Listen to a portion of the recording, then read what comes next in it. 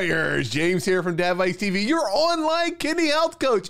And this is another episode of Dadvice TV Live. Yes, if you are now watching us on YouTube, Facebook, or Twitch live, you can enter comments and some of them, boom, it may pop on the screen just like that. Hey there, Loretta.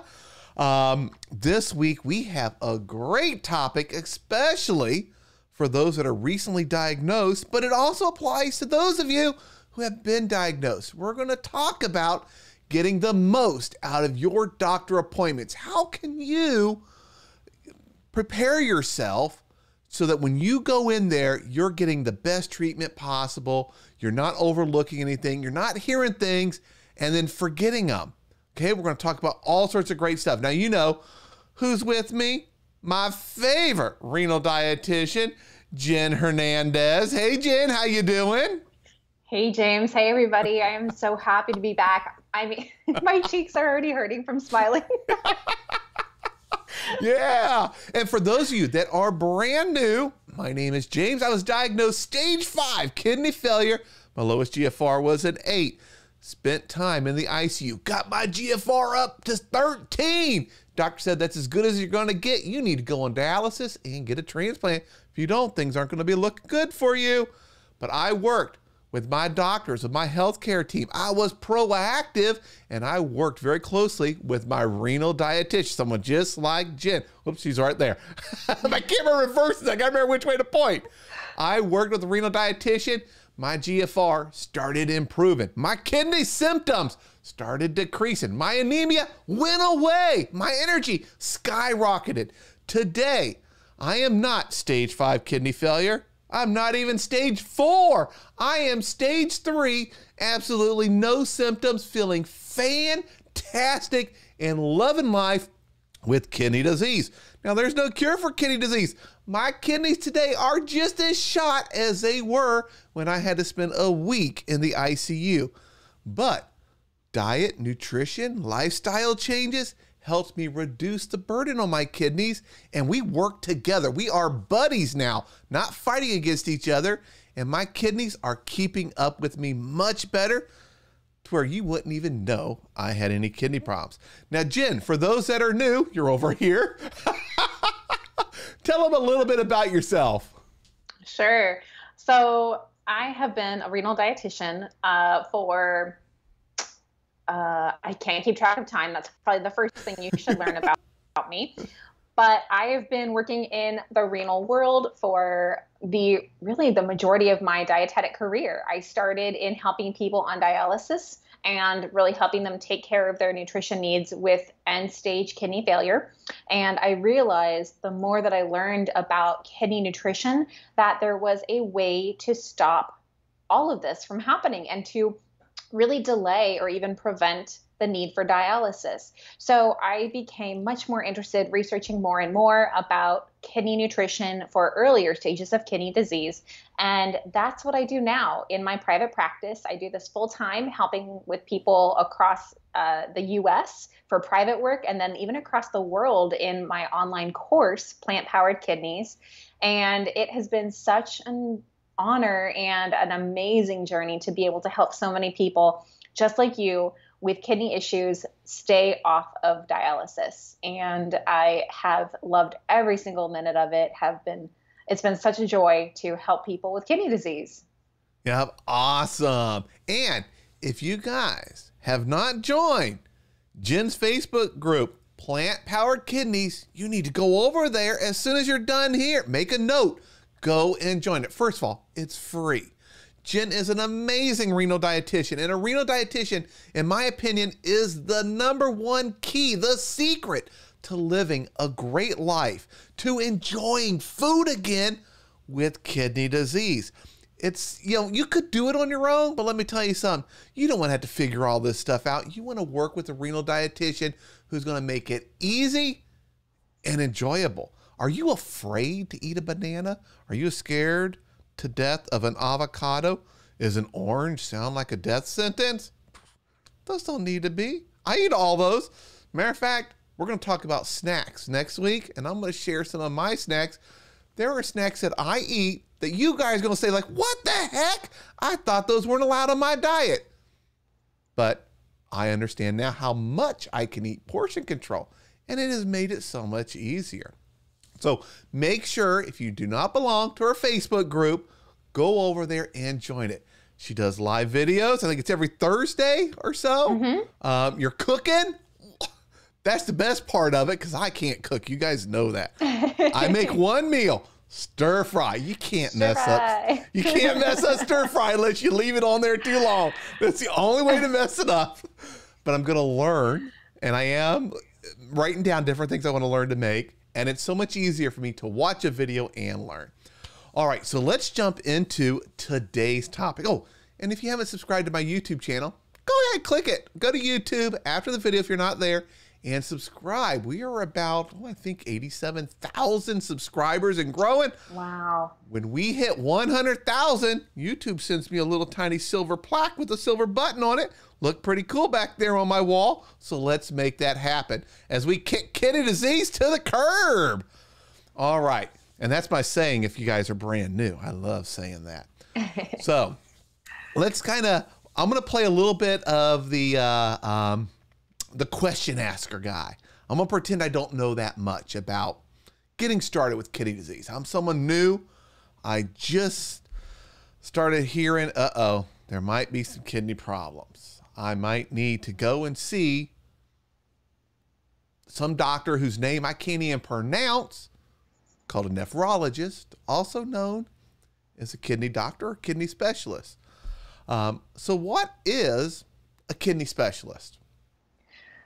So, a kidney specialist, like you said, nephrologist uh, or, or a kidney doctor, a lot of different terms that people use when we think of the doctor or the, the medical professional that helps focus in on the kidneys, is really that. They are the person that is there to hone in on taking care of your kidneys. And we know from a lot of different experiences in our world that when somebody specializes in something very particular, they get to deep dive into more of the concerns and they become more knowledgeable about that area because they have the time and the focus and the capability to really learn what there is to know about that specialty. And that's what's really great about going to a specialist like a kidney specialist, like a nephrologist, is that they're going to be able to give you more insight than your primary care. And usually uh, that's where the process starts. But it's the kidney specialist, the nephrologist, is the person who goes through all the training, all of the years of schooling to become a doctor. And then they go through even more training and more years of schooling to become a nephrologist. Yep. Now, when should a person see a nephrologist or a kidney specialist? So, really, it's going to come from your primary care physician, from your family practitioner, your general doctor. They are looking at the big picture. So, think of your uh, primary care physician as the conductor of the situation, and they have all these people that they can kind of send out to but it's really going to be um, their job to get you to that right person who dives deeper into a certain situation. So your primary doctor is going to be looking at your your kidney labs, which you talked about last week, at what to look for for your kidney labs. So things like your creatinine, your BUN, your GFR, if those are becoming out of range, and usually it takes a couple lab checks to confirm it. We can't just look at one. Remember, when we're talking about labs, you mm-hmm. don't just look at one and assume that's the situation. You have to look at trends. And then doctors are going to do the same thing. So they're going to look at an outlier. They're going to confirm that it is, in fact, the case. And then ideally, they will send you to a kidney specialist or a nephrologist. So the other thing to think about though is uh, with the kidney specialist, there's also another type of doctor known as a urologist. And you might be referred to a urologist instead of a nephrologist or kidney specialist if you are experiencing kidney stones. And the urologist is the one who takes care of components of what the kidney does afterwards, right? So the kidney is filtering our blood and the waste goes into our urine. So if there's something going on from the urine pass point of waste products, you might be referred to a urologist instead of a nephrologist. It really depends on your situation, but again, that's where your primary doctor is responsible for determining what the situation is and who is going to best take care of that situation for you. Yep. And when I remember when I was diagnosed, or I had some problems. My doctor needed labs, and he said, "Look, something's really seriously wrong. We need labs. I don't have time to wait to send them and get them back. You got to go to the hospital. I'm going to call ahead. You got you go there. They're going to be waiting for you. They're going to take your labs." I saw a nephrologist, endocrinologist, a urologist. Um, there are probably other ologists that I Oh, yeah. saw. Um, what does an endocrinologist do since they are often working with kidney specialists? Yeah, so an endocrinologist is somebody who focuses on diabetes. So that might be the first step, even before seeing a nephrologist. If you have a history of diabetes or poor blood sugar control, even again, if that A1C, one of the labs that we talked about, if that one's running out a little bit higher than normal, the doctor might send you to an endocrinologist first. And that's a really good step, even in taking care of your kidneys, because that is something that can impact your kidney health. So, seeing an endocrinologist to have your blood sugars managed there is really, really helpful. Yep, and I know mine originally was uh, considered pre-diabetic, and which is you know borderline means you're you're Mhm. higher, not quite diabetic, but you're on the path there. Today, normal.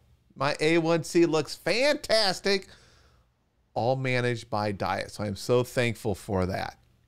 Now, when I go to see these doctors. Okay, let's say okay, now I know I do need my doc. My primary care physician told me, James, I want you to go see a nephrologist, a kidney specialist. Because in the beginning, none of us could pronounce nephrologist the first few times we hear it. Takes a while for it to start coming off real easy. Um, what are some things I need to do to prepare for my visit to my nephrologist? Because there's not a lot of time. There, you're in, you're out. What can I do to prepare better? So, one of the things I really, really recommend is you're basically going to see another person who's going to jump on and be a part of your medical team. So, with that, I you really need to have a current, up to date list of all your medications, all of your supplements, everything you're taking, pill, packet, powder, form, whatever the case is. You need to have that written down, not only what it is, but the dosing as well, because there are medications that your nephrologist may pinpoint and say, we've got to change this because this is not safe for your kidneys. Mhm. So they're going to be the ones who can also look at that. Sometimes primaries, a primary doctor might be able to look in that to that as well, but nephrologists, again, they are hyper focused on the kidney health. So that's something that they can look at. And if you bring that full list of medications and supplements, I really can't stress that enough because we've talked about it before that having supplements is something, you know, it can, you can take supplements and be okay with them, but you've got to let your doctor know what you're taking and also why you're taking it too. yeah. The doctor's going to review all of this. So it's really important that you are totally transparent with everything you're doing on your side so that they can better serve you. Yeah, I, and I, I'm going to emphasize that every supplement, you're taking a baby aspirin every night before bed, let them know everything. You're taking some pill you bought off the internet, thinking it's going to do something magical, and it's not. Um, you got to let them know about that. Let them know when. You might even do the brand. I use an app, I can't remember what it's called on my phone, that tracks everything I take, and I use it to help me remind or remember when to take different things. But I have all the supplements in there, the dosage size, how often. And every time I visit a doctor, one of the first things they do is they go through the list. Here's what we know you're taking. Are you still taking these? What's new? So it's definitely really important to help your doctor and be transparent. If you're taking something, you know, there's some people out there that are using some um, herbal treatments that are legal in many states, maybe not in all. You need to let your doctor know that. They're not there to get you in trouble, they're there to help you. And they need to know everything that you're taking or using and when. So make sure and be transparent. Um, they're there, you know, they're there to help you. It's it's very easy. And I used to be this person. I used to go into the doctor, doctor, I'm having a little problem, a pain, blah, blah, blah. I didn't tell them everything. I wouldn't say, you know, when I stand up, I get dizzy. You know, I thought, ah, I don't need to tell them that. But by not giving them all the information, they're not going to be able to help me improve and prevent these issues or prevent further damage, especially to your kidneys. So definitely make sure and be transparent. Uh, now, what else besides a list of all my medications? So I got that. I'll make a list of everything I take, supplements, everything, dosages when I take it. What's the next thing I should have to prepare for that visit? Well, I think it's really awesome. And you're going to be probably ahead of the game to go in to see your nephrologist for the first time if you bring a track, a current history of your blood pressure, and if you have diabetes or blood sugar problems, your blood sugars as well. Because you are going to really set the stage with this new nephrologist to say, I am here and I am ready to work and I am ready to take care of my kidneys. And I know this is something I need to be mindful of. Mm-hmm. So, by tracking your blood pressures, even for a few days, a week, something like that, leading up to your appointment, you're going to give the doctor basically it's like another idea of fresh labs, mm-hmm. but from a different perspective. And it is just going to give the doctor so much more insight because you know, when you go to the doctor's office and the first thing they do once they call you back is they check your vitals they get your height, your weight, they check your blood pressure. And a lot of people have uh, what's called white coat hypertension. Oh, which yes. means, right? You know what it is? I, that used to be me. Just, yeah. I didn't even have to see the white coat. I just had to know they're getting ready to come in the room. Blood oh, yeah. pressure shot up through the roof. Yep. So for those that are, that don't know what we're talking about, it basically means this high blood pressure that you experience just because you're at a doctor's appointment, you're at a doctor's office, and you get stressed. And a lot of people can relate to this because it's a stressful situation. You're scared about your results, you're scared about what they're going to tell you, you're scared about, you know, whatever's going on. So your blood pressure starts rising. That's why it's helpful to have a more current history because you're going to be able to show the doctor, like, hey, don't worry. Like, yes, it's a little high right now. I'm kind of freaking out, not gonna lie, but this is how it's been at home. So you can show, and then even if it is high at home, you're showing them more information and details so that they can better serve you. And that is just really, really helpful. Same thing for blood sugar checks. If you are logging your blood sugars in the morning, after you eat, before you go to bed, you're you're going to give the doctor so much more feedback and it's again it's just really helping to set the stage for when you go in and the doctor's going to be impressed. I'm telling you your doctor's going to be like wow you came to play. Like yep exactly. awesome. and i'll tell you guys so i use y'all know i use home blood pressure monitors. I have two different ones. I have this one then i have one of the big old giant ones. Um, all these things track it in an app so it's really easy for me to either email especially in today's environment where I do a lot of phone calls to my doctors. My checkups are via the phone. I can email, boom, here's all my blood pressure. They ask me to take it in the morning, about an hour after I take my blood pressure meds, take it in the afternoon, and take in the evening before bed. And I just take it, boom, it's all in there. It gives them a lot more information. And my blood pressure is always, always higher when I'm in the doctor's office.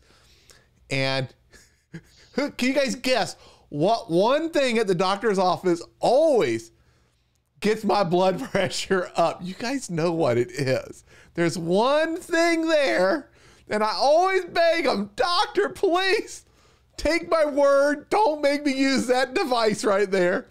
What do you guys think it is? Let's give them a moment. So I'm curious. I don't think I know the answer. oh, as soon as hmm. I as soon as I tell you, you're gonna like, okay, I know. It makes sense. You've talked about it before. Okay. Okay, I have an idea. There's one test. So I take my I do my oxygen at home. Oh, there we go. We got it. We got it. Wait, the scales. Oh. Yes, I even use a Wi-Fi connected scale. My doctor mm-hmm. sees my weight anytime they want, and I get on it every single morning like clockwork. But I oh just hate that that scale there at the office. I take my shoes off. I take my watch off. Every little thing I can. Yeah. I'm like, if I could shave my hair any shorter, I'd do that too. I tell you, there's something. There's a white coat hypertension. Maybe there's the white coat fluid gain or something. Because, yeah, the scales always seem very mean. And I know I'm overweight. I tell I say, here's here's what it is. And I, I tell them, I just weighed myself hours ago and all I've drank is water since then. So I'll say, yeah, here, here's what the number will be. And they're like, oh, you didn't gain weight or you didn't lose weight.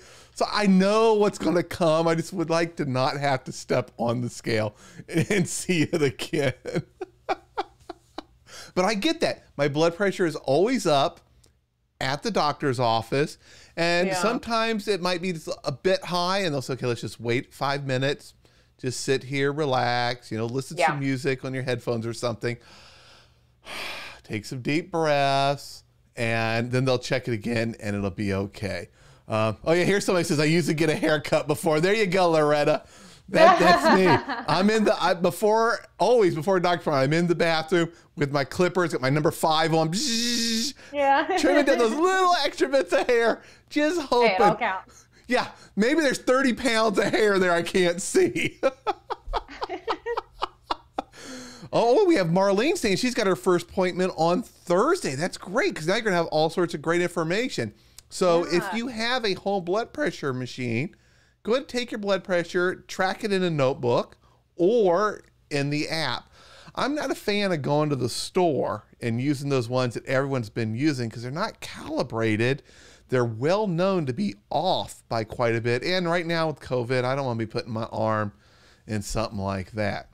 Yeah. All right. So I've got my history of my medications, all of them, what I take when, including all supplements. I've got my blood pressure information. Maybe I'm diabetic. I've got my my tracking of all my my blood sugar results when I take it. So the doctor has a lot more information. The more information, the better.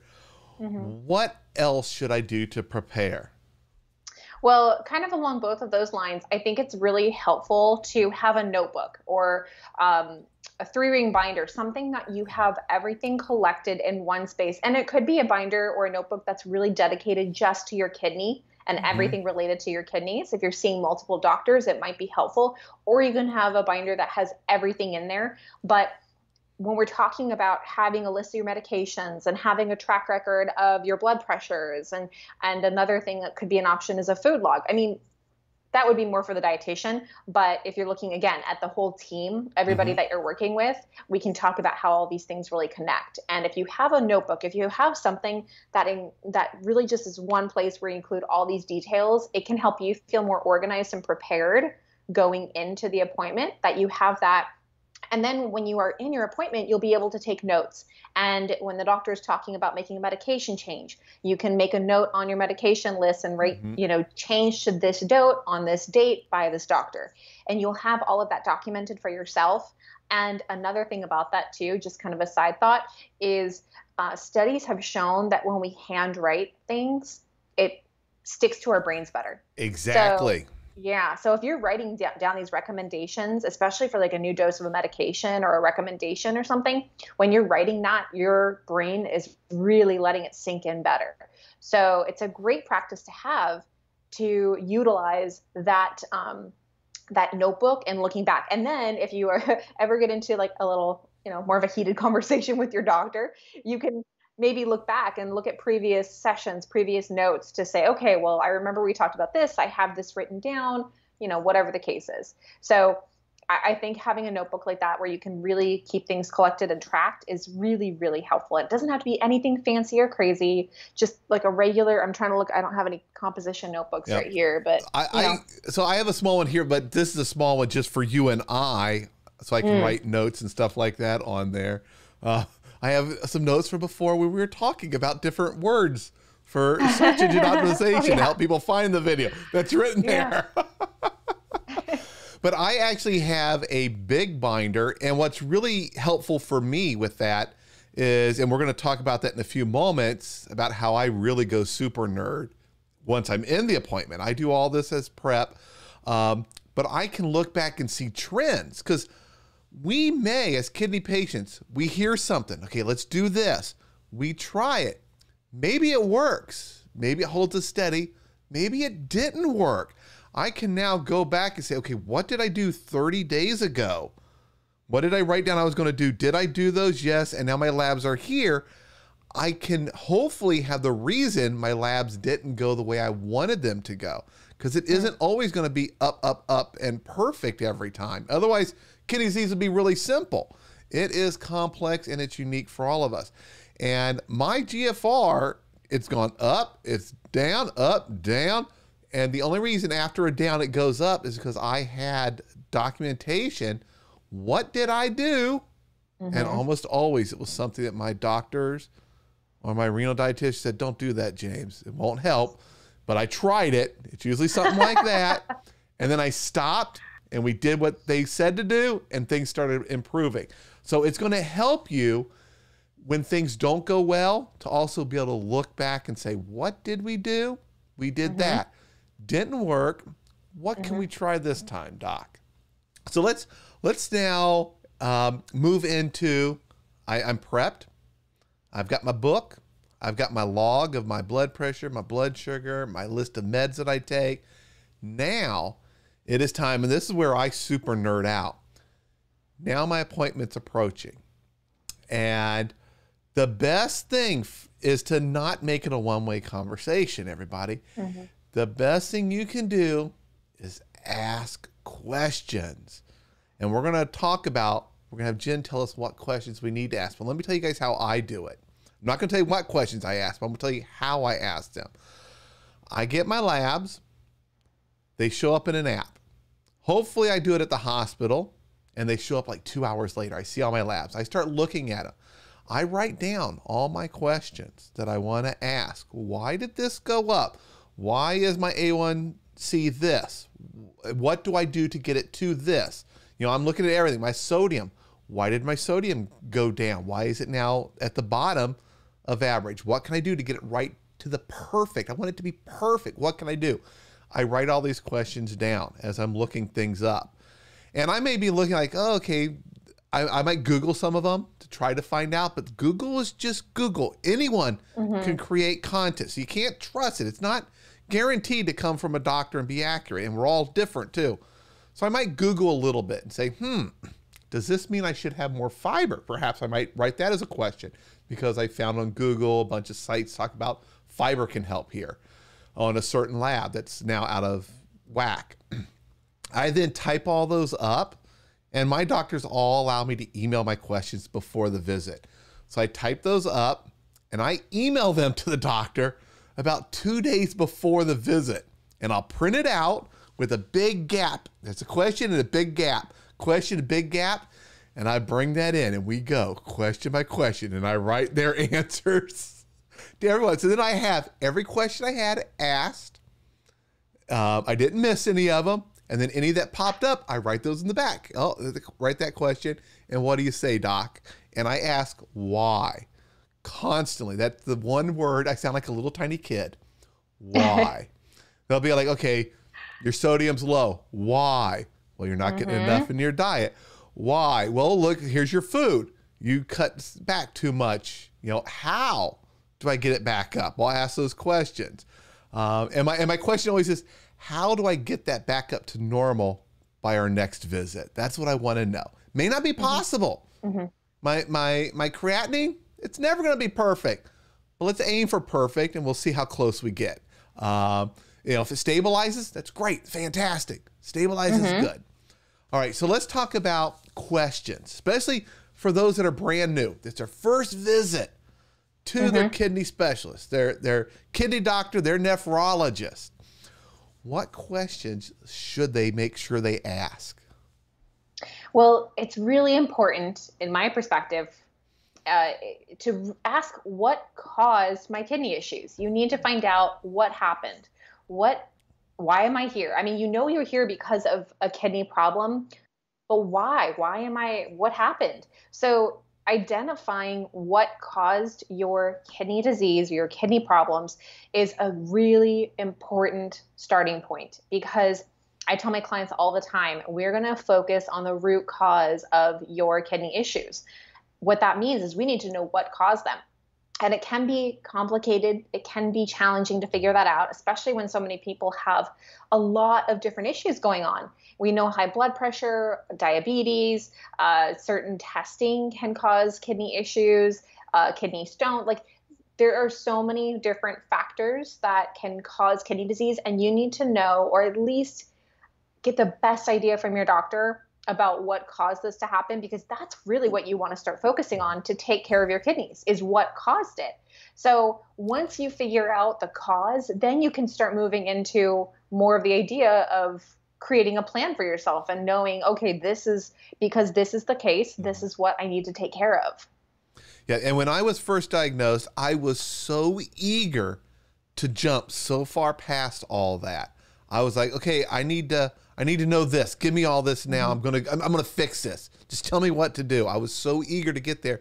But we have to know the cause so that we can stop further damage. If the cause is diabetes, we know, okay, we need to get our diabetes under control because that's causing damage. And if we don't, we're just going to continue to get more damage. And those changes we make to diet, they're not going to be as impactful as they could be. Same thing with blood mm-hmm. pressure. If it's your blood pressure is out of control, which is so common because your kidneys are the ones that keep your blood pressure under control. So as they get damaged, blood pressure gets out of control, that can cause more damage or accelerate existing damage.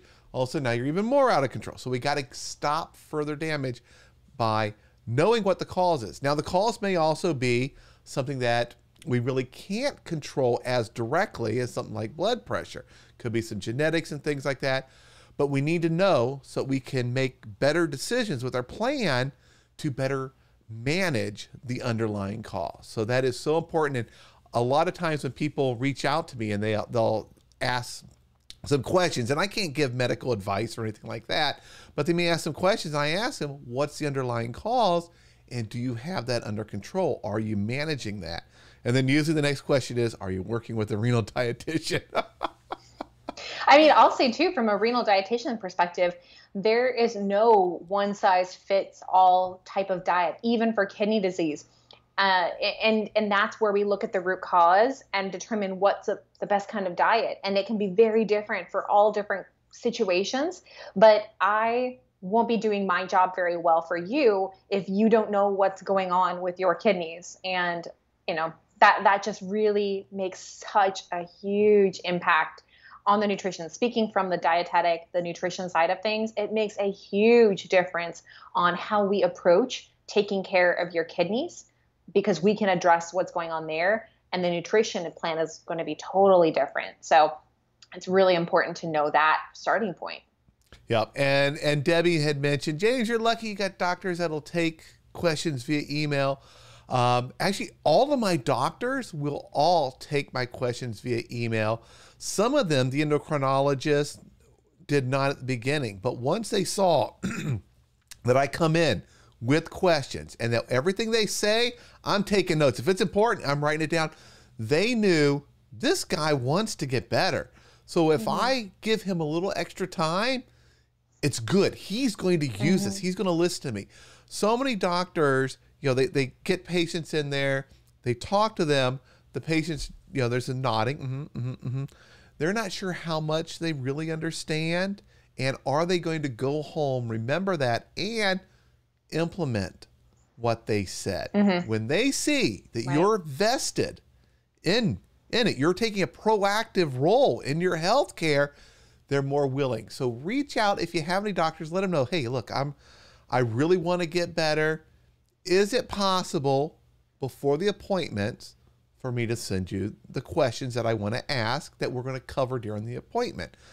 It's it's all good for them. They may not answer them via email, but now they at least have them and they can be prepared for your appointment. Otherwise, I'm sitting there and I'm asking my questions, and they're like, uh, James, time's up. no, no, no, no. Don't worry. I only have three more pages of questions. Okay, let's get through it. I'm sitting in the chair. You're not going to lift me out. Remember, I'm afraid of the scale. You're not lifting me out. Let's get through my questions. now, um, what? So now I've asked him about the cause. What mm-hmm. caused mm-hmm. my kidney disease? What's the next question I should ask that I need to know, especially as a new person? Well, you definitely want to find out what stage you're in. And we can look up this information online. There's a lot of different things from the National Kidney Foundation that will give you that guideline. But you really want to hear it from your doctor for that official diagnosis. Again, we're not self-diagnosing. We're not going to try to assume mm-hmm. we, you know, can can look at this and know exactly what's going on. So get that right from your doctor to find out exactly what stage you're in. I mean, it's really helpful when you start to connect with other people to kind of have a, an idea of people in a similar situation, stage three and stage three. or if you hear somebody in your stage four you're, and you find out someone's stage two and you know okay they're in a different situation even i'll say stage three to stage three is still very very different but it kind of helps you start to get a feel for the kidney community and really it's it's a it's one of the most i would say common questions and james you'll probably have mm-hmm. more insight to this than than me so uh, more so. But I feel like that's one of the first things that even people talk about when they jump into a Facebook group or they talk with oh, other yeah. people with kidney issues. that's the first thing. What stage are you? Yeah, that's kind of the first thing they need to know. And and those of you who have listened to me long enough, um, I really don't like the stages because you could be at one end or the other, and it's a huge difference. Um, mm-hmm. I like to focus on the symptoms. What mm-hmm. symptoms do you have? Uh, but that stage helps you kind of determine roughly where you fall on the spectrum of kidney damage. And there are certain things that are typical at stage four, typical at stage five, typical at stage three, and it can help you kind of understand is this normal? Um, mm-hmm. If you're stage two and you think your kidneys hurt, well, chances are that's not your kidneys hurting, that's something else. Uh, or you might not be stage two. You know, they need to look at that. That's not traditionally a, an issue that happens at stage two. But everyone on the on the social media groups, uh, it's always what stage are you, and then that's followed by what's your GFR, which is mm-hmm. your glomerular filtration rate, an estimate, just an estimate, everybody, of how well your kidneys are filtering, and it's they're measuring how well does it remove something. Usually, it's creatinine. Um, it's a muscle breakdown waste that your kidneys remove. GFR is not a measurement of damage. So my GFR originally was eight, which is very bad. Um, I had practically every symptom you guys can imagine, all of them, all the bad ones. I had all of them. My kidneys are no, are not healed. They're the same. They're still shriveled. They're still scarred. And today my GFR, my last GFR was 33. So the GFR is not how damaged your kidneys are. It's how well they're filtering. And that's what kind of places you in a stage. A GFR of 30 to 45 is stage three. So I'm just barely whoop, made it into stage three. But more importantly to me, no symptoms. That's oh yeah. My energy's back. I feel like a, an amazing person. I'm actually healthier than I have been in so long because now I'm eating right and I've learned that exercise is not going to kill me. now, so I found out I'm going to ask them the call so I can manage it, stop further damage, what stage I'm in. I now I now know where I, I fall on the spectrum of kidney disease. Um, what's the next question I should be asking them? So I think it's a good time in that intro and figuring out what's really going what's really going on with your kidneys to find out if you need to have any other kind of testing because there are certain types of autoimmune or genetic kidney issues that can be confirmed with some further testing. Your nephrologist is going to give you an idea of what is necessary and what's not necessary. Some people feel like a kidney biopsy, like, oh, I need to, I know that, you know, so and so said they had their kidneys biopsied, so I need to get that that may or may not be necessary, and your doctor is not going to put you through something that's unnecessary or potentially more damaging to your kidneys, too. So, um, you can ask them if there's any other testing that should be done, especially if you go back to that first question and mm-hmm. if they're saying they're not sure. Then it's really good to say, okay, well, then what kind of testing do we need to do to figure out what's causing this? Uh, so, that is something that you should just kind of check to see if you know the future plans of this, of what else is going on. Again the more you understand what's causing your kidney issues the better you can take care of your kidneys and take care of your health and know what you can control and what you can do. Yeah. so that's something that you should definitely check. And i would encourage everyone always get a copy of the results from your tests um, mm-hmm. It's pretty easy with labs. They can print you off one, or now a lot of them are. It's in an app that you can download. Have all your your your labs there. I super nerd again, take my results and I throw them in Excel and I start doing all sorts of trending analysis. Uh, I swore I could find things that, that like, oh, how much per pound, how much of my creatinine is that going to impact? I went to that level trying to figure mm-hmm. it out. Course, my doctor says no, but you need to lose weight. It's better for your heart. It's better for your blood pressure. It's better overall. but I was looking for all those little correlations. Can I find them? But it's great. Get a copy. Now, if you get an ultrasound, someone asks, Hey, I got an ultrasound. Will my doctors give me a copy of that? Usually they don't, but if you ask for one, you can. For mine, I actually asked for a copy of everything and they sent me CDs and I had to pay mm. Like maybe $10 I paid, included shipping. And they got all my records from the ER, all my records, every test, every ultrasound. They did a lot of ultrasounds, all those from a full week in the ICU, all that on one CD. And then I just copied it to my computer and put it up on the cloud. It wasn't that expensive, but it's not it's not the um, the norm for them to say, "Hey, here's a copy of your ultrasound. Have a yeah. great day. We'll see you later." But ask for it. Mm-hmm. You know, never hurts any testing you get. And then if you have further testing, if they say, "Yeah, you're going to do this," great to find out. Do I need to fast? Any any prep I need to do for those? And when you mentioned the the biopsy, um, I never had a kidney biopsy. They wanted to originally and I said, "Will it? What? What does it mean? The results when you get it? Mm-hmm. What will it change?" Because there is some risk, and they were talking to me about risk of doing it with me, and it was up to me. Do you want to do it or not? They would like to, and it would not have made any difference in my treatment. They had a very good idea of what the cause was. They just didn't like the way my kidneys looked on the ultrasounds. Uh, but I did not do a biopsy, and if they would have told me it's going to impact your treatment, we it's going to give us information that will make a difference, then I would have mm-hmm. said, yeah, let's do it. But after the conversation, there was some risk with it with in my situation, and it wouldn't have made a difference in my treatment strategies. Yeah. I said, ah, let's just not do it. Let's just keep going up and keep going with it. Um, now, what is so we've asked the question about other tests what's the next question we should always make sure we're asking, especially those new patients? Yeah. So this is going to go back to that preparation now. So you brought in your notebook and your medications. You want to go through your medications and make sure you know exactly why you're taking each of these medications, especially the ones related to your kidney disease even if there's a medication that you're unsure about, you can ask your doctor, your your kidney doctor, your kidney specialist, and they can say, "Oh, that is something for your primary doctor to oversee, or that is something for your endocrinologist to oversee." So they might just direct you to a different person, mm-hmm. but you're still going to have that breadcrumb going in the right direction of understanding it.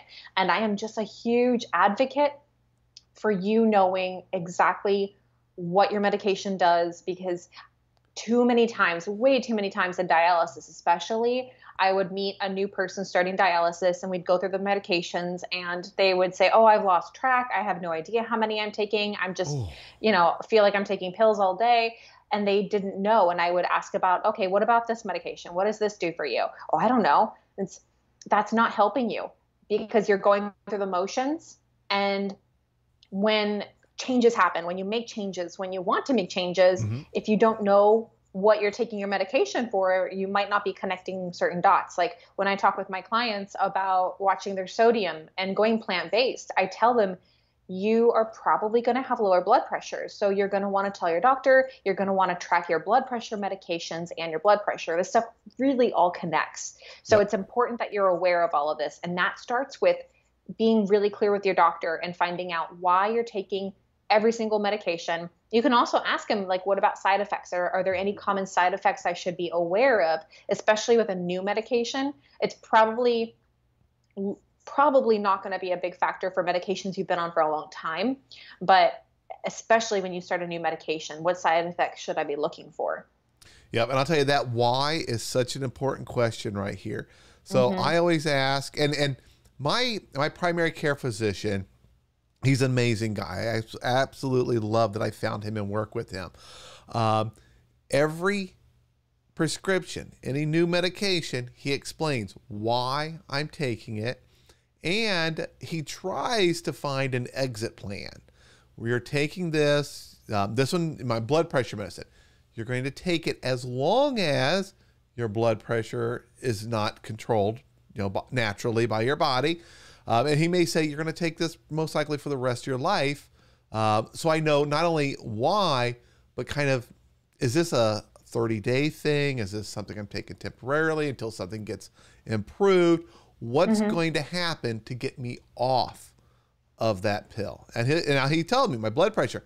If you lose weight, you you become more active, you get healthier. We may reduce your blood pressure pill. So now I have an incentive to not only take the pills as prescribed and consistently, but to maybe even exercise a little bit better, lose some more weight. You know that thing I hate, that scale, um, so that maybe I can reduce the amount of pills I take. And when I was first diagnosed, at very beginning, I, I had everything wrong. My hemoglobins were so bad. My red blood cell count was bad. Everything was so bad. Sleeping at night was difficult. I I felt like I was eating at a buffet of pills for mm. the first few weeks, but I knew what every pill was for, and Good. many of them they were take this for a week, take this one. We're going to watch this this result in your lab. When it gets back closer to normal, we're going to stop that pill. It's not forever, mm-hmm. and it's. I think it's really important to not only know why you're taking it, but when you need to stop. Because sometimes you might be taking one that you don't need to take anymore, and it's just you've been taking it as a habit and just going in and refilling the prescription. Um, and maybe your nephrologist doesn't realize because maybe you forgot to tell him, yeah, I'm taking that one. My primary care refills it for me. I had a lot of that in the beginning.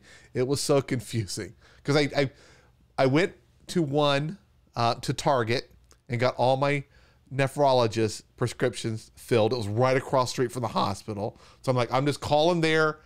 I'm going to drive over to Target.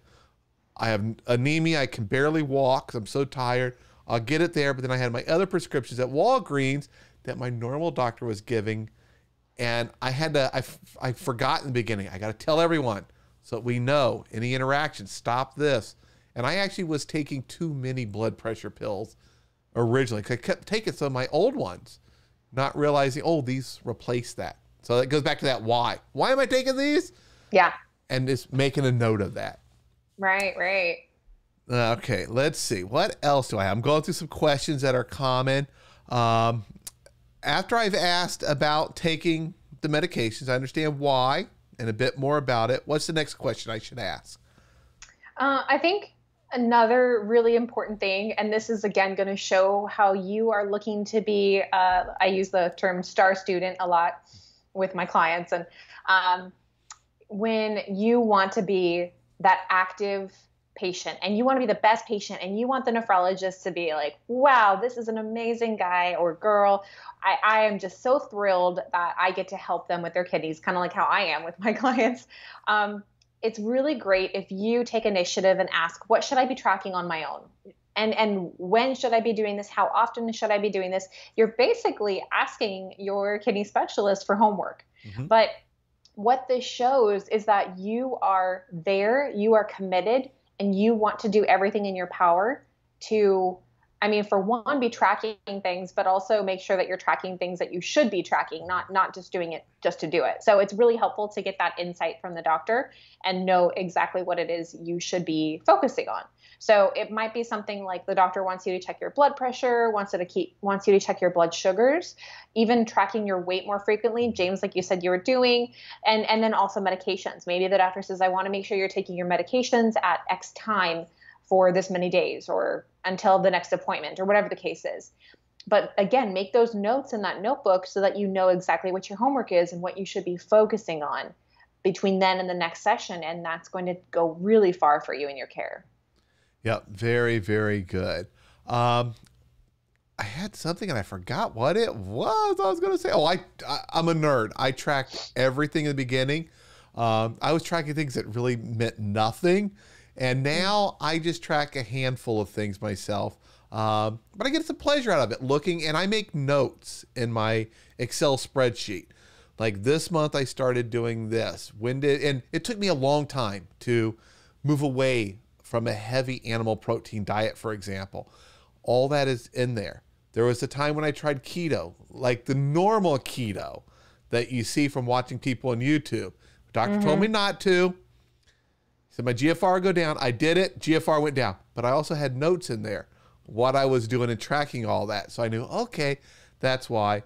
And my healthcare team was really big on using a food tracker to track what I mm-hmm. was eating because there are certain parts of your labs, especially your BUN, things like that, that you can so easily impact with diet. And if it's getting out of whack, they could quickly say, "Oh, look, okay, I'm gonna use a bad example. Your your your sandwiches from Popeyes. I think that's why your sodium's skyrocketing now. Let me think. yeah, you're, you're getting a few of those every week. That's not good. but they wanted me to track what I ate, and I used an, an app for that. And then when I started seeing a nutritionist, a renal dietitian, she just loved it. She's like, "Holy cow, this is fantastic!" Now I oh, see yeah. how you eat, when you eat, the kinds of foods you you like, because it's all in there. And her first approach was, "Let's make a few tweaks, not give it all up." She made Yeah. it very easy to transition to where now I still eat meat, but I eat far, far less of it. And for all of you that have been listening to me last week, no, I never got my ribeye that I wanted. I Ah. the, the craving has passed. I'm not even craving it anymore. I kept thinking I'm gonna get me a ribeye and treat myself. You know, it was a meal. No, it passed. Never got it. A few people were asking, "Did you ever get it?" No, no. Uh, but that was really good. I tracked that stuff, and I found it it not only helpful for those that I worked with, but also for me to see progress. And when sometimes things don't go well, and I, I want to make sure everyone understands that. I don't want them to think, "Oh, James is GFR eight. He made a couple changes, and boom, it all shot up." No, there were there were ups and downs and scary things all along the way. It's it is a journey. You're climbing a mountain Yeah. up and down. Uh, but when it did go down, I was able to look and see what probably caused that. So then I could ask my doctor in the next visit about it or set up a, a phone call. There were several times where I didn't want to, I was just too tired. I couldn't get in the car and really felt like driving to doctor's appointment. So we'd set up a, a virtual appointment. My doctors all do those but you got to set them up well in advance. And we just get on the phone and we talk through it. I have my blood pressure at home, um, all the other things that I track at home, and it just made it so much easier with them. All right, the next question: What should I ask? So now I, I'm I'm tracking some things, and I, I I know what my next question would be, and this is a question people ask all the time. Mm-hmm. How often should I get my labs? Mm. Yeah, that is such a good question because you really, I mean, you're doing all this work, you're putting in all this energy, all this effort to take care of yourself, and the labs are the results of that work. So you definitely want to find out what your lab schedule is going to look like. And that's going to be really individualized again. It's going to be Mhm. based off of the kidney specialist or the nephrologist um, order, what they feel is capable, what they're capable of tracking for you. Sometimes there's some health insurance regulations there. So there's that part of the equation to consider.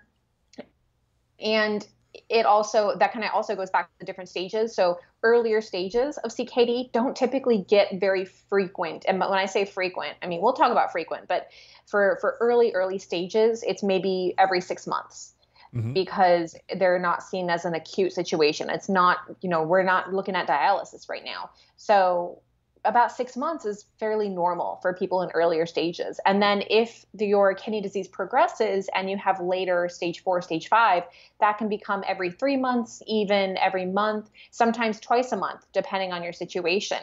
So it's different for everybody. Um, but you really want to get a feel for how often you're going to get those done. And you can always ask, James, I know you ask, how Oh, yeah. can I get mine drawn? Exactly. And and in the beginning, just kind of give people an idea. In the beginning, when I was in the in the ICU, my labs were done multiple times a day in the beginning. First, of all, they had to get so much stuff under control. Um, my food, I think it probably came through the bags that were connected to me. It, it felt like I don't remember eating in the beginning. Also, I didn't feel like it. Um, but they were doing it multiple times a day. That first week out of the hospital, GFR 13, the doctor, you know, we made an agreement. If I got to 10, I'm going on dialysis, but give me a chance, give me some time. And I had my labs taken every day to see how I was doing. And then it went to weekly, every other week. And now I'm overdue because of COVID. I am overdue. It's my last labs were back in uh, January, uh, January 4th. And then I had some other ones done around January 15th. And my, my GFR was 33 there. So I need to go get some. Now I have something amazing here. Holy cow. And I want to pop this up there. I want to thank somebody. Hold on, let me get another. Thank you so much. This is actually, for those who don't know, this is the very first super chat that I've ever had. This is on YouTube where people can say, "Oh, you can, you're doing a great job," and they can help support Dadvice TV. And she Oh, said, that's wonderful. she said her, her the, the, the quote was uh this talk has been awesome lots of useful information so happy you are the very first super chat ever which is absolutely awesome That is so great. That is really good. I'm so happy that people are finding this helpful. and then we have a few other people in here uh, nala's going every six weeks Shelly saying her doctor does it every four months. So there is no right or wrong. Yeah. Well, well, actually, let's see. There is no exact right answer for everyone. Not getting labs is the wrong answer. Yeah, Um, absolutely. If you're, you know, been stable for a long time, your doctor may say every six months or maybe every year. Um, I don't like that every year. I need to go get mine. I, I just don't like that it's been now over six months since I've had them. Um, but I feel great. I understand my diet. I'm sticking to it. Um, the information that we exchange here is helpful. I feel very good, and I feel that I'm either stable or still improving. I yeah. I'm I would be shocked if my GFR, besides the normal fluctuation it does, if Right. it dropped, I would be completely shocked because I do not have a single symptom. And believe me, if I ever get a symptom, I'm gonna know it right away because I will no longer overlook those things. Yeah. All righty. So we're gonna ask about how often to get the labs drawn. Um, it's good to ask what should I track on the labs because the labs Yeah. cover so much. We talked about that last week. Mm-hmm. There's so many different things that are on the labs, and they they may not all be what you want to focus on. Mm-hmm. Um, I focus. I of course I look at my creatinine. I look at my GFR. You know, want to know where am I? Come on, let's see it go up. Come on, let's go. Um, I look at my creatinine because if that goes down, the GFR goes up. The calculation. Except I had a birthday once in between some labs, and it was a bad birthday. It's one of those ones every so often, every so many years, the formula gets impacted by your birthday. And I ran them one year younger, and my GFR was higher. But at my current age, I actually went down. Like, oh, it cost me two Because points. Mm, yeah, age is part of that calculation. Yeah. And it's not age like your real age, it's your years. Being something 0.9 years old is, you know, you, you kind of, anyway, you know, it, it got me. It was one of those ones where it got me. Um, I forgot where I was going. Oh, but I track my BUN. I'm very involved in my BUN. Yeah. I want to look at my pH. Um, how am I doing with acid and you know the base, my blood? How am I doing? And a few other things that are important to me that I know maybe I can impact them with my diet, and it helps me focus on those and make changes. My doctors focus on everything; they're looking at all the other Right. things, but there's some things that I really can't impact, so I don't focus on those and worry about those. Yeah. And originally, my focus was get everything within the standard range, not too high, not too low. It took a while. Eventually, we got there, and then we worked on getting things as close to the middle as standard range. And now, my last last, I everything was green except creatinine. It was it was high. Um, It was two point two five and my BUN, which was 28. Those were the only two Oh. that were not green. Yeah, a 28 is like practically normal. It's like, Yeah. Yay! Yeah, Good thing I didn't need a great. ribeye right before that. My BUN would have Oh been up there. Oh my gosh. Shut up.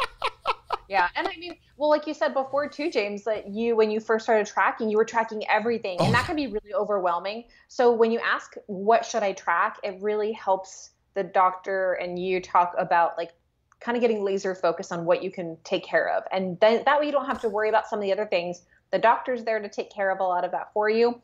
So the doctor's going to be able to tell you, okay, this is a, I, you know, I want you to, to keep tracking your glucose because of your blood sugars. I want you to track your BUN because of your protein. I want you to track uh, your potassium because your potassium's mm-hmm. been running high. Things like that. I think that is where you can really kind of identify some of the primary concerns that the doctor also has in in what they're really focused on taking care of for you. Yep. And then after asking um, about what I should track, what's the next question? I know what you're going to say. This is my favorite question of all that enough of us do not ask and we need to ask. Yeah. Uh, totally biased. First of all, can I can I put that disclaimer? you don't need a disclaimer. This is one of the most important questions. Okay, so this this important question that you need to ask is: Will you refer me to a renal dietitian? And I know right away because I can hear all of you, you whether you're chatting it, talking, whatever, texting it, I know you're going to say, "Well, my doctor said no, I don't need a dietitian until dialysis." I even had this this exact conversation today. This is not true, okay? Oh. And I need you to become your advocate in your healthcare and argue that it is important, mm-hmm. okay? It's important if it's important to you. All yep. right there's no benefit in seeing a dietitian if you don't care about making diet changes, if you don't care about making any corrections here or looking at the nutrition side of things. But if you want to focus on nutrition, you've got to have a dietitian on board, okay? And even if the doctor says no for whatever reason, I mean, you could report them technically. I'm not saying that too loud, am I? But you you you could say they're blocking my care. Mm-hmm. Okay? But hopefully they'll give you some resources. If they don't give you resources, I mean, they're not they're not terrible doctors. They just don't know the world of nutrition. They're not used to seeing us dietitians outside of dialysis. So I hear people say, "Oh, when you go to dialysis, you'll have a dietitian." It's like, well, well aren't we kind of past the point then? Yeah, like, exactly. let's talk about making changes now. So they just don't know that we exist. We're the unicorns of the nephrology world, apparently. So be your own advocate. Um, you guys know that I have resources on my website, and I've talked about different places that you can go look up and find a dietitian. And I'll make sure that we include some of those uh, notes for you guys here today. Yep. So that you can go look up a dietitian, whether it's in the United States or it's in whatever country that you are in. Remember, there's laws, licensure, legality situations when it comes to working with dietitians. So if you want to see a private dietitian to help you with your labs and your results, you've got to see a dietitian that you can work with. And checking your country's, first of all, your country and then your state or your local area for a dietitian is a good first step. Okay. And yes, a renal dietitian is really hard to find.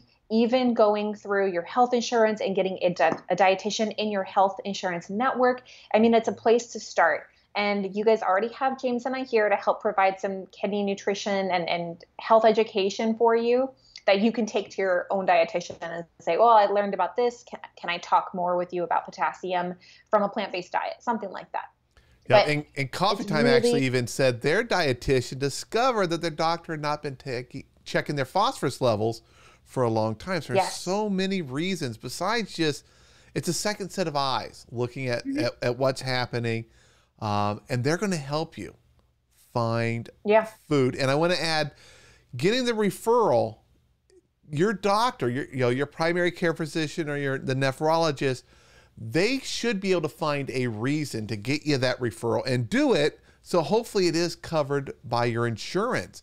Uh, mm-hmm. Mine was I was obese, I was pre-diabetic. There's plenty of reasons there to get me to a dietitian covered by my insurance so it, it didn't cost me anything except my my out of pocket per visit fees. Mm-hmm.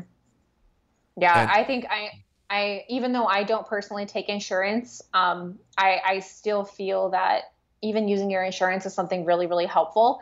I provide my clients with a super bill, which is like a receipt that they can give to their insurance for reimbursement. Yeah. Uh, but but you know use what you have, see who you want to see, and um, yeah, I can't say enough of it, how important it is. And when your doctor says nutrition is not important when you're in stage three, you can flat out call them a liar and tell them that I exactly. said that they're a liar because that is not the case at all. And there are so many people like in our Facebook group Mm-hmm. And in our course, that would tell you, that would be on my side arguing the same thing that no, food, nutrition makes all the difference right now every yep. single stage. we have some more super chats. I gotta share these. I gotta thank these people. oh yeah, absolutely. Natalie, oh thank you so much. There was another one earlier. Let me scroll by. I, I don't. I'm not trying to encourage people to donate money. I do appreciate it. Believe me, my wife. I just bought a new computer last week. It'll be here on Monday. It's going to make uh, these things so much easier for me and do so much more she is going to die when she sees the credit card bill. Luckily, it um, Apple has a, a, zero interest thing, thank goodness, and it's installments. Uh, but I, really appreciate these. These are great. I'm not, but I'm not trying to fish for them. I don't want people to think that they have to do this that. Is, it's just a thank you. Yes, it's thank you guys so much. People. It yeah. means so much. Three of the first day ever to get some, um, which is fantastic. Yeah. And I kind of lost track of where we were. Um, so I, I we're almost out of time. Yeah, look at this. You've yeah, been a tremendous oh, yeah. help. Yay! We're so glad to hear that these are helpful, everybody. One thing I do ask of everyone share this information. Mm-hmm. There are people out there who are afraid to eat. Mm-hmm. They have an appointment, they don't know what to ask their doctor. So, one of the best things you could do is share. Let's get the information out there to show people living with kidney disease isn't all doom and gloom. There are there's people here. We're here to help each other, support each other. And the more you know, the easier it is to manage living with CKD.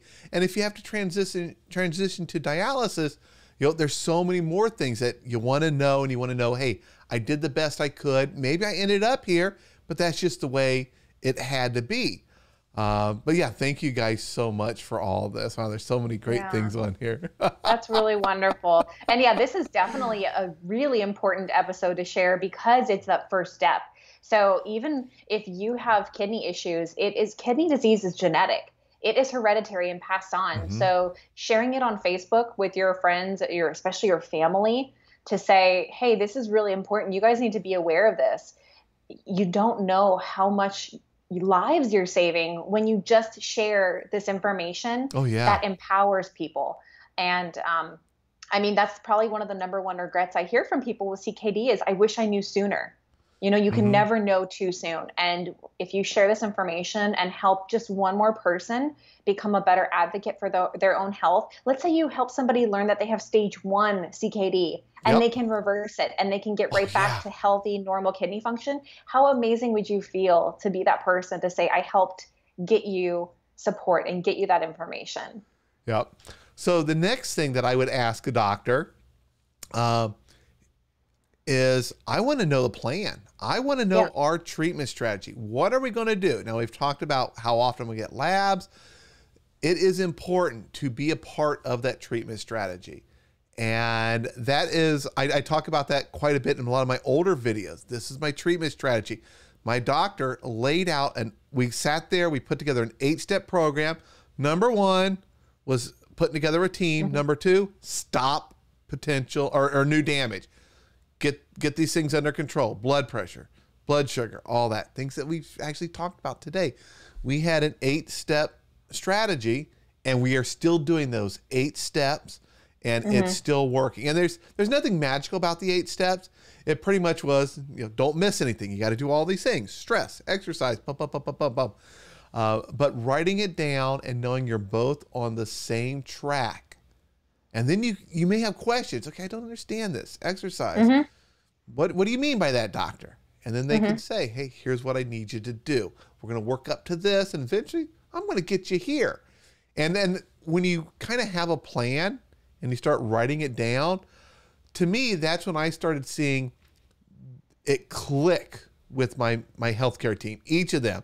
When I wanted to know the next steps and the plan, mm-hmm. they realized, holy cow, this guy's going to get better and I'm going to help him get better. And they were excited. Yeah. Oh, yeah. That is just so amazing to be a part of that. It really is. Yeah. Instead of just being another patient, not understanding, mm-hmm. and, and it's not that we don't understand or can't understand. Sometimes it's so confusing what they're talking about yeah. to us. Oh, yeah. And this goes right over our heads. I would ask so many times, I, I don't understand this. You know, Right. explain it to me differently until, and I would ask them until I understood. Like, okay, now I got it. And we mm-hmm. put together that plan. And my plan, it, it could change. It's not going to break my heart if it changes.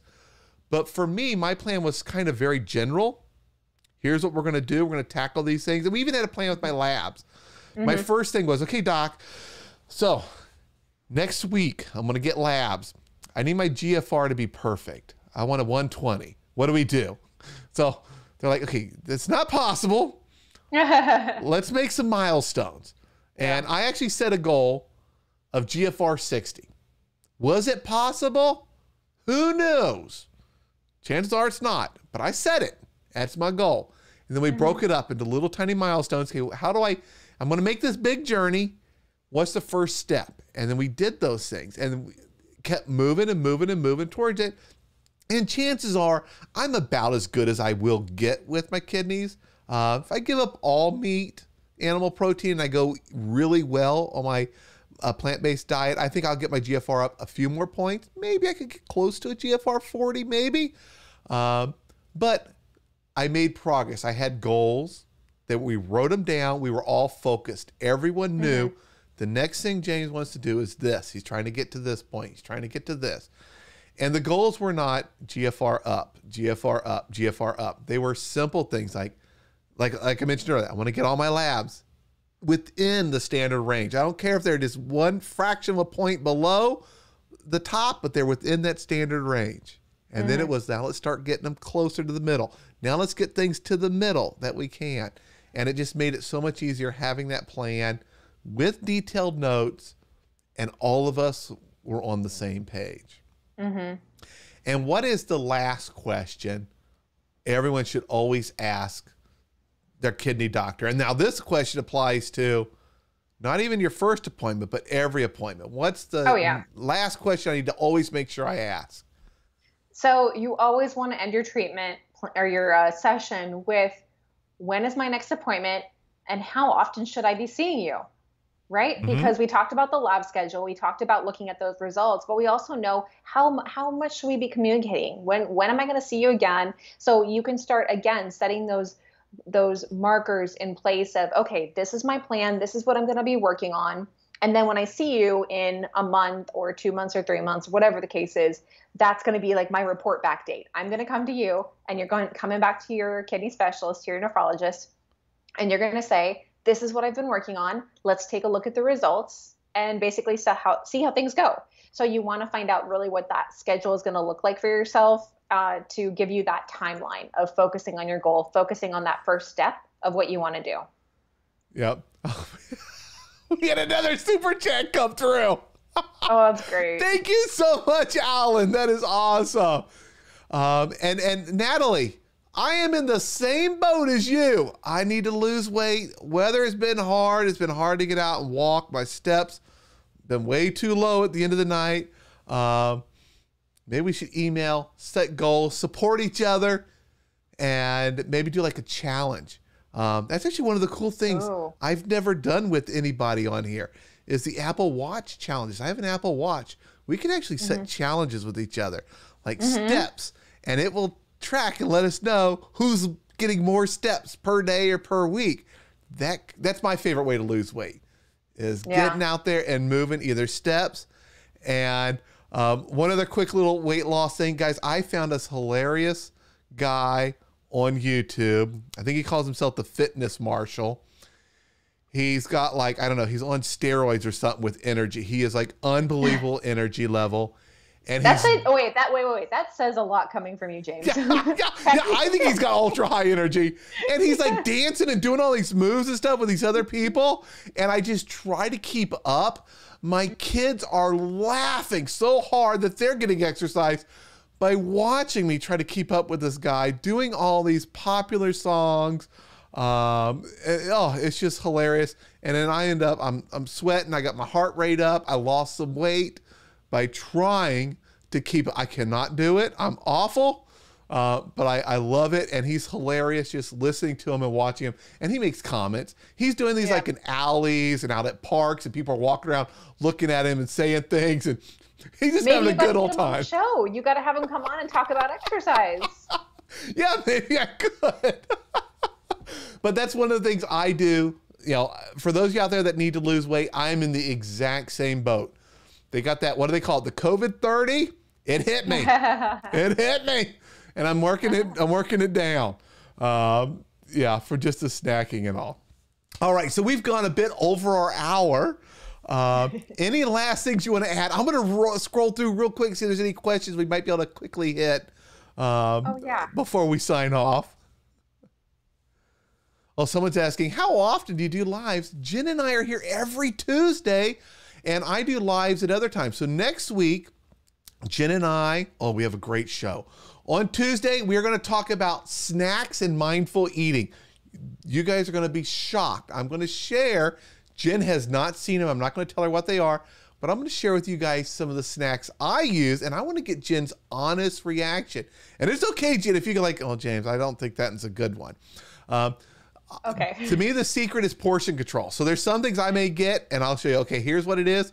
One portion is eight ounces. This little bag right here lasts me four servings, and it'll last me like a week to to eat this. And then it's okay when you when I'm pacing it out. Mm-hmm. But I'm going to share a lot of the snacks that I use that I like. They're they're they're all well made, non-GMO. They don't have extra ingredients or stuff, but they're things that a lot of people would think, "Holy cow, I can't eat that. How how does that fit in a renal Yeah. diet?" I track it. I look at what's in there, and I it's easy when you have portion control to make things fit. So we got that next next Tuesday. Next Wednesday, the day right after, I've got um, a nephrologist, Dr. Butt. Again, he was here uh, last Monday. He is going to talk about dialysis and dialysis access. Um, he is a hilarious nephrologist, more energy than me Oh, has, wow. has videos and stuff. They're hilarious. He had some humor. He makes all the complex easy. He keeps it simple. Good. He makes it relatable. So we'll have two live shows next week for those that asked about when do we do the live shows. The schedule is always on the homepage of dadvicetv.com, so you can go there and see and just kind of set a uh, reminder and tune in. We're here on Facebook. We're here on uh, uh, YouTube, and we are now on Twitch. And soon, soon, we'll also be on LinkedIn. But I like YouTube because those are the metrics I like to look at. And I want to hit 100,000 subscribers. Get to that number. Oh yeah, I feel like I Get that feel little like when you hit that, we gotta do a, yeah, we gotta do like a special giveaway or something. Oh people. yeah, yeah. And for That those of you that were asking about the giveaways from last week, we did a drawing for the book "Cooking for Your Kidneys," waiting to see if the person responds, and then the software will select somebody else if if they don't respond. We are still giving away, picking random people every single day. We're going to do 20 days straight or two weeks straight, 14 days, Mm. giving away a bottle to each of them of Pro Renal Plus D. You can pick with the Mega or without a full month supply. Uh, Nephroceuticals is an awesome company and they were so helpful. And as soon as I said, Hey, would you like to do a giveaway? They said, Sure. How many you want to do? And they came out with a big number. I was like, Wow. I was thinking like one or two bottles. Fantastic. That's great. Uh, but let me scroll through these and see. Oh, how about giving away a kidney?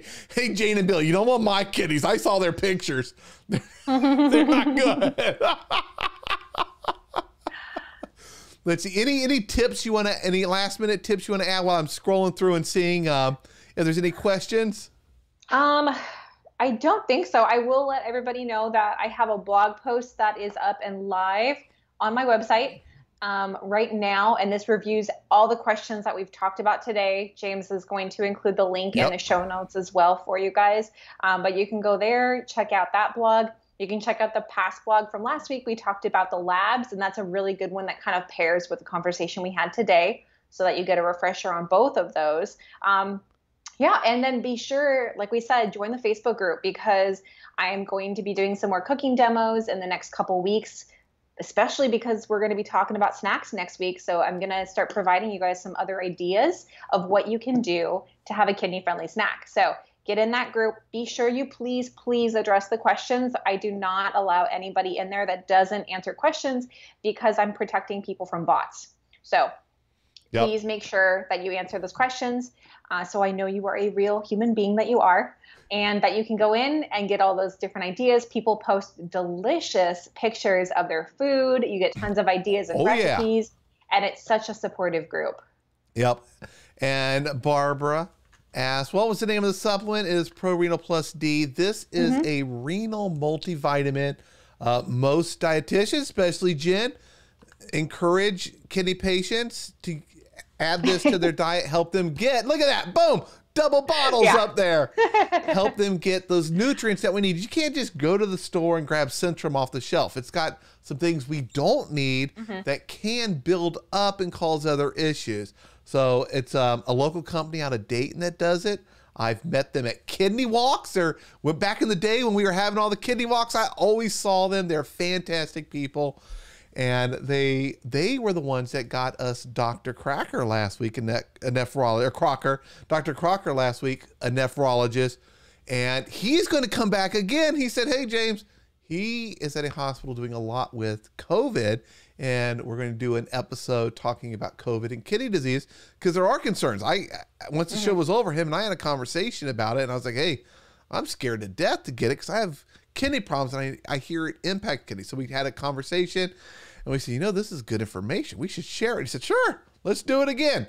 So Nephroceuticals, the people who make Pro Renal Plus D, they arranged to have him on last week when I did seven days of live shows. And I'll tell you guys, that was exhausting, but a ton of fun. And that was practice for an even bigger thing coming in March. And someone said, Hey, James, we should do this every quarter. So I'm going to look at that, see what we can do. The American Kidney Fund reached out to me and said, James, we'll help. We want to participate and be part of it. So it should be even easier in the future to do a, a whole kidney week. All right, everyone. I want to thank you so much for your time today, for all your comments, for all the, the super chats. That was fantastic. You guys, you made my summer with those super chats in there. Uh, oh, and someone says, How do you enter to win a free bottle? All you got to do is there is a video uh, where we on Facebook and on YouTube where I interviewed Dr. Crocker and we talked about renal multivitamins. Just share that and you tag it with the hashtag my pro renal. That's all you got to do. And um, you are then entered. A random person is selected every single day. The more you share, and actually, you could share this one. Share this one. Tag it, my pro renal, with the hashtag in there. And every entry, every share is a chance to get another free bottle. They will ship it to everywhere in the world that does not have a restriction on importing of vitamins, and they're covering that shipping. So that is fantastic. Now, I don't That's want it to great. sound like this is some miracle thing. This is something that helps you with your diet. You use it mm-hmm. in conjunction mm-hmm. with eating the right diet to help you get those nutrients you need, especially vitamin D and stuff like that. All right, everybody. Thank you so much and I'll see yeah. you guys in the next video. Bye, everyone.